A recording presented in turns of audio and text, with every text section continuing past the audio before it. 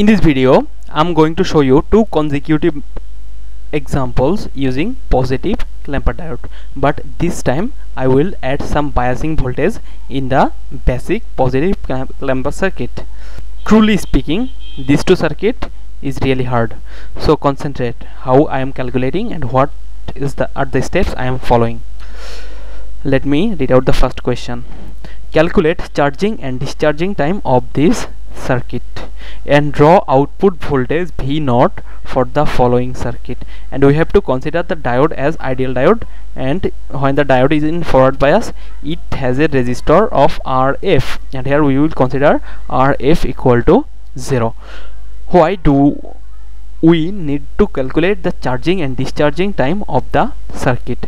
The clamper circuit works on the basis of charging and discharging time of capacitor if the charging time of a capacitor is much much smaller than the discharging time and if the circuit consists of capacitor diode and resistor we may expect that that circuit will be act as a clamper circuit and see as the diode is in upward direction. That means that this circuit will be a positive clamper another thing that, that we have to consider the diode is ideal diode. That means when the diode is in forward bias I will replace that diode with short circuit. When the diode is reverse bias I will replace that circuit with open circuit. So this is our positive clamper circuit. This circuit contains a capacitor 1 microfarad a diode and a load resistor of 10 kilo ohm and an additional bias voltage 5 volt. And the 5 volt has positive terminal in upward direction and the negative terminal in downward direction. And I am applying a square voltage here with positive peak plus 15 negative peak minus 15 and for this waveform I have to draw the output voltage. So let me first calculate the charging and discharging time of this circuit a capacitor gets charged when the diode is in forward bias. That means the circuit will be forward bias when this terminal will be positive and this terminal will be negative and our diode will our capacitor will charge through this way. This terminal will be positive and this terminal will be negative. That means I have to consider the forward resistance of this diode and the value of this capacitor to calculate our charging time constant. Charging time constant tau equal to forward resistance rf into c. Here the forward resistance of this diode is 0 therefore our charging time constant will be 0 and total charging time tau tau c will be equal to 5 times of this rfc will also be equal to 0 that means this circuit. Now let me consider the discharging time constant a capacitor in this RC circuit will discharge when this diode is in reverse bias and this capacitor will discharge through this load resistor RL therefore its discharging time constant tau will be the load resistor into this capacitor multiplication RL into C. 1 into 10 to the power minus C into 10 into 10 to the power 3 will be equal to 10 millisecond and total discharging times if 5 is 5 times of this discharging time constant. Tau d will be equal to 5 RLC equal to 50 millisecond. Now see the discharging time is 50 millisecond and the charging time is 0 therefore the charging time of this circuit is much much smaller than the discharging time as the circuit contains capacitor diode and resistor. So I can conclude this circuit will act as clamper circuit and also as this diode is in upward direction that means this will be a positive clamper circuit. Now I will apply the five steps we I have shown you in my previous lecture. At first we have to at first I have to start my analysis with that half cycle of the alternating voltage which will put the diode in forward bias. Here we have two half cycle positive and negative half cycle. See when the input voltage is at negative half cycle this terminal will be positive and this terminal will be negative which will drive the diode in forward bias. That means I will start my analysis with negative half cycle first. So when the diode is in negative half cycle this terminal will be positive and this terminal will be negative. And we will replace the diode with a short circuit. We will replace the diode with a short circuit.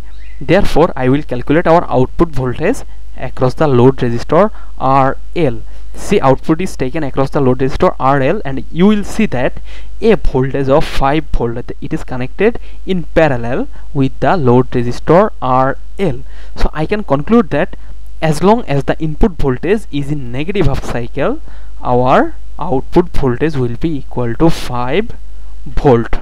After that I have to determine the capacitor voltage VC before doing that let me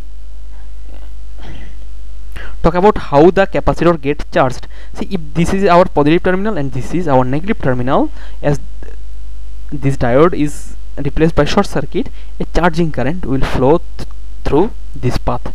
As a result this capacitor will be charged at a voltage at level of VC as the current is entering from this direction this side of the capacitor will be positive and this side will be negative.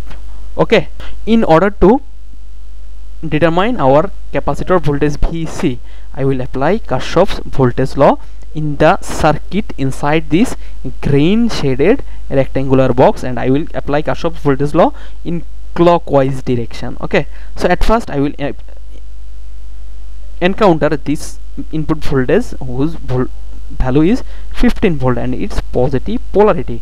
Therefore its voltage will be negative after that I will encounter this capacitor as current is entering from this direction. This side will be positive and this side will be negative. As I am encountering the negative polarity first therefore its voltage will be positive plus VC as I am after that I will encounter this 5 volt and its positive polarity. So its voltage will be equal to 0 so I can say that VC equal to 20 volt. So when the diode is in negative half cycle our output voltage VO will be 5 volt and this negative half cycle will charge the capacitor or will store the a voltage of 20 volt in, in the capacitor. Now what will happen when the when the alternating signal is at positive half cycle? See when the square wave is in positive half cycle. This terminal will be positive and this terminal will be negative.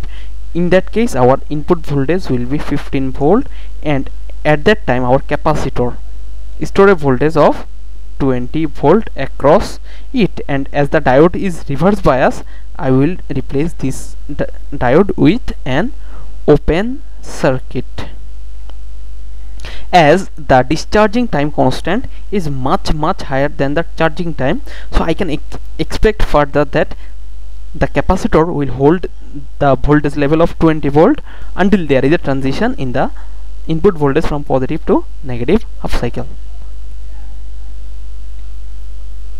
So in the positive half cycle our diode will be reverse bias. So I have replaced this diode with an open circuit. See I have removed the diode from the circuit as this branch gets opened therefore I can assume that this branch does not exist in our original circuit when the diode is in reverse bias. As the diode gets opened I have removed that I have removed that branch where the diode was connected. So our circuit will look like this. I am taking the output across the load resistor RL in that time our capacitor stores a voltage VC equal to 20 volt with this polarity of negative in this side and positive at this side.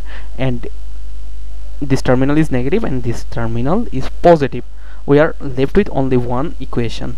I have to apply Kirchhoff's voltage law to determine the output voltage. At in I will apply Kirchhoff's voltage law in clockwise direction. This voltage is to 15 volt and I will encounter its negative polarity. So its voltage will be positive. After that I will encounter this capacitor and its negative polarity. Therefore its voltage will be 20 volt. After that I will encounter this VO and its positive polarity. Therefore its voltage will be negative which implies that our output voltage VO will be equal to 35 volt. So now look at the range of our output voltage. In the during the negative half cycle our output voltage was 5 volt. And during the positive half cycle our output voltage is at 35 volt. Now let me draw the input and output voltage in the same axis. So let's say this is our input voltage vi it has positive peak plus 15 negative peak minus 15 this is our time axis. During the negative half cycle our output voltage is at a level of 5 during the positive half cycle our output voltage goes in 35 and I am showing the output voltage in this axis. I am taking the time at this axis.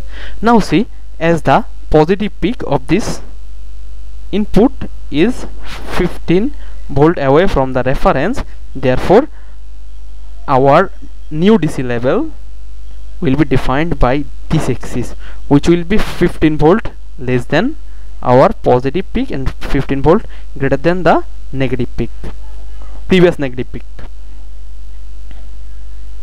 And it will be at 20 volt. See previously our DC level was at 0 volt. If we don't introduce any bias voltage our reference voltage will be at our new DC level will be at plus 15 but I have further shifted this DC level by adding a by adding a bias voltage 5 volt. Therefore our new DC level will be at plus 20 volt as the input voltage is shifted in upward direction. Or, or the DC level is shifted in upward direction. This is a positive clamper circuit